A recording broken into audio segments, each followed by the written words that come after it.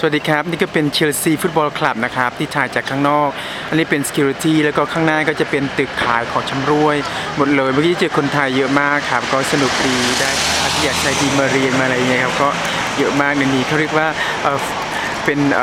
สถานที่ของเชลซีฟุตบอลคลับนะครับนี่ก็ลอนดอนบาร์ผ่านมานะครับสวยงามมากครับอยากใช้ความรู้สึกถึงทุกท่านนะครับ คนมาเยอะมากนักเรียนพ่อแม่พา